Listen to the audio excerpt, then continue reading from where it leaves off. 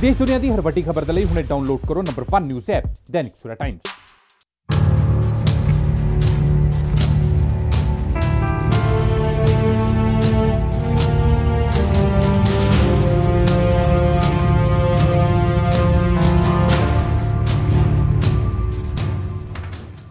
ਦੋ 2022 ਦੀਆਂ ਵਿਧਾਨ ਸਭਾ ਚੋਣਾਂ ਤੋਂ ਪਹਿਲਾਂ ਪੰਜਾਬ ਦੀ ਸਿਆਸਤ 'ਚ ਨਵਾਂ ਰੋਮਾਂਚ ਪੈਦਾ ਹੋ ਗਿਆ ਹੈ।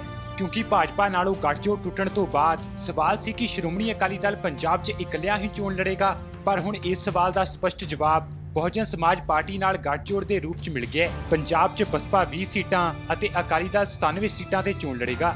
ਇਹ ਗੱਠਜੋੜ ਬਣਨ ਤੋਂ ਬਾਅਦ ਦਲਿਤ ਅਤੇ ਪੰਥਕ ਪਾਰਟੀ ਇਕਜੁੱਟ ਹੋ ਕੇ ਚੋਣ ਲੜੇਗੀ। ਇਸ ਚੋਣਾਂ ਜਿੱਥੇ ਸ਼੍ਰੋਮਣੀ ਅਕਾਲੀ ਦਲ ਦੀ ਨਿਗਾਹ ਦਲਿਤ ਵੋਟ ਬੈਂਕ ਤੇ ਹੋਵੇਗੀ, ਤਾਂ ਉੱਥੇ ਹੀ ਬਸਪਾ ਵੀ ਆਪਣੇ ਆਪ ਨੂੰ ਹੋਰ ਮਜ਼ਬੂਤ ਕਰਨ ਦੀ ਕੋਸ਼ਿਸ਼ ਕਰੇਗੀ। ਪੰਜਾਬ 'ਚ ਜਿੱਥੇ 33 ਤੋਂ 34% ਦਲਿਤ ਰਹਿੰਦੇ ਨੇ, ਤਾਂ ਉੱਥੇ ਇਹ ਨਵਾਂ ਗੱਠਜੋੜ ਪੰਜਾਬ ਦੇ ਰਾਜਨੀਤਿਕ ਸਮੀਕਰਨਾਂ ਤੇ ਵੀ ਆਪਣਾ ਅਸਰ ਛੱਡੇਗਾ। ਪਹਿਲਾਂ ਵੀ ਬੀਐਸਪੀ ਰਹੀ ਹੈ ਅਕਾਲੀ ਦਲ ਦੀ ਸਾਥੀ। ਇਹ ਦੂਜਾ ਮੌਕਾ ਹੈ ਜਦੋਂ ਅਕਾਲੀ ਦਲ ਤੇ ਬਹੁਜਨ ਸਮਾਜ ਪਾਰਟੀ ਵਿਚਾਲੇ ਗੱਠਜੋੜ ਹੋਇਆ ਇਸ ਤੋਂ ਪਹਿਲਾਂ ਵੀ ਸਾਲ 1996 ਦੇ ਲੋਕ ਸਭਾ ਚੋਣਾਂ ਵਿੱਚ ਅਕਾਲੀ ਦਲ ਤੇ ਬਹੁਜਨ ਸਮਾਜ ਪਾਰਟੀ ਇਕਜੁੱਟ ਹੋ ਕੇ ਚੋਣ ਲੜ ਚੁੱਕੇ ਨੇ। ਉਸ ਸਮੇਂ ਪੰਜਾਬ ਦੇ ਕਈ ਇਲਾਕਿਆਂ 'ਚ ਬੀਐਸਪੀ ਦਾ ਕਾਫੀ ਪ੍ਰਭਾਵ ਮੰਨਿਆ ਜਾਂਦਾ ਸੀ, ਜਿਸ ਦਾ ਅਸਰ ਵੀ ਚੋਣਾਂ 'ਚ ਦੇਖਣ ਨੂੰ ਮਿਲਿਆ। ਲੋਕ ਸਭਾ ਚੋਣਾਂ 1996 ਸ਼੍ਰੋਮਣੀ ਅਕਾਲੀ ਦਲ ਤੇ ਬੀਐਸਪੀ ਗੱਠਜੋੜ ਨੇ ਲੜੀ ਸੀ ਚੋਣ। ਅਕਾਲੀ ਦਲ ਨੇ 9 ਉਮੀਦਵਾਰ ਉਤਾਰੇ ਸਨ ਮੈਦਾਨ 'ਚ। ਬਸਪਾ ਨੇ ਵੀ 4 ਸੀਟਾਂ ਤੇ ਲੜੀ ਸੀ ਚੋਣ। ਅਕਾਲੀ ਦਲ 8 ਅਤੇ ਬੀਐਸਪੀ 3 ਸੀਟਾਂ ਤੇ ਰਹੀ ਸੀ ਜੇਤੂ।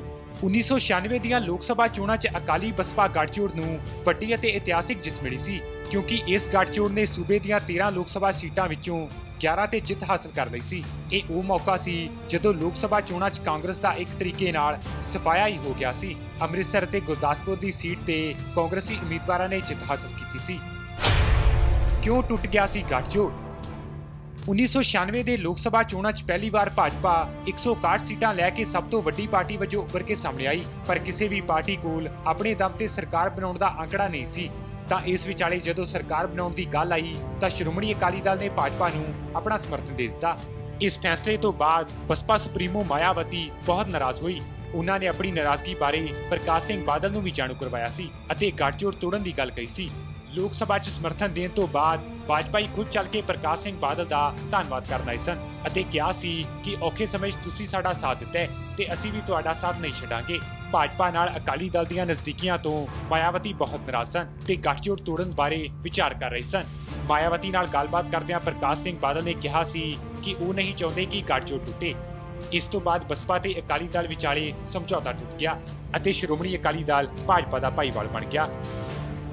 Bureau report Dainik Savera TV all world open challenge 17 time gold medallist Mian Rafiq Mohammad पंडित मौलवी बेगम तांत्रिक इन चोरा ठगा तो सावधान स्पेशलिस्ट वशीकरण सट्टा नंबर लव मैरिज पति पत्नी च अनबन विदेश च पक्का होना कारोबार दा ना चलना सिर्फ़ 31 घंटिया विच समाधान फ्री फ्री फ्री मियाँ रफीक मोहम्मद मोबाइल 84 374 94 647 84 374 94 648